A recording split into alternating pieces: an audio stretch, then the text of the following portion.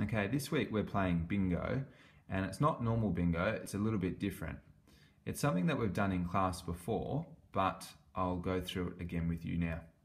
So importantly, over here, we have a range, and the range is between 30 and 65.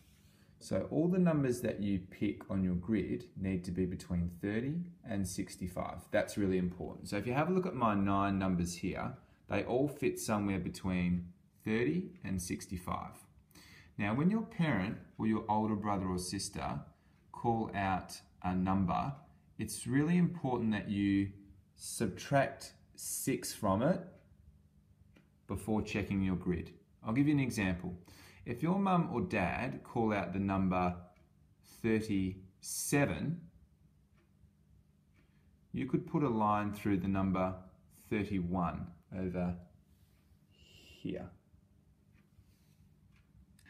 If your parent calls out the number 66, you would subtract 6 from it, and you could put a line through 60. If your parent calls out 49, you can't put a line through 49. You need to remember to subtract 6 from it before you go to your grid. So if I called out 49 and you subtract 6 from it, you would end up with 43. And 43 is not on your grid, so you would have to wait for the next number. If I called out 66, I could put a line through 60. If I called out 40, I could put a line through 34.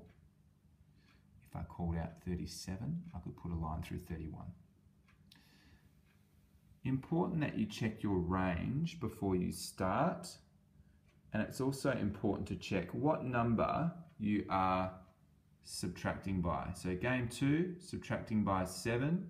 Game three, subtracting by four. If you're having a blast of a time, um, you are more than welcome to use these three grids to play um, three more games. You could even make up your own range and make it plus six, plus seven, and plus four, just for something different.